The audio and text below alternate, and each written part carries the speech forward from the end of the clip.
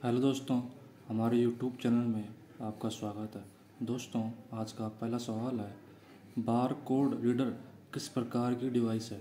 Option A है output, option B है input, option C है स्क्रीन, ऑप्शन डी है जॉयस्टिक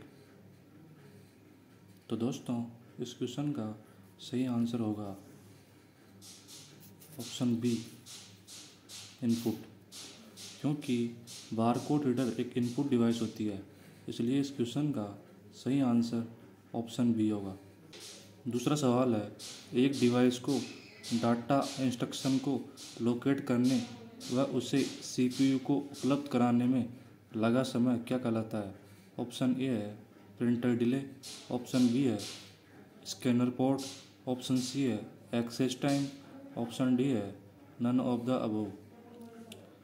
तो दोस्तों, इस क्वेश्चन का सही आंसर होगा ऑप्शन सी एक्सेस टाइम क्योंकि किसी भी डिवाइस को डाटा इंस्ट्रक्शन को लोकेट करने व उसे सीपीयू को उपलब्ध कराने में लगा समय एक्सेस टाइम कहलाता है। इसलिए इस क्वेश्चन का सही आंसर ऑप्शन सी होगा।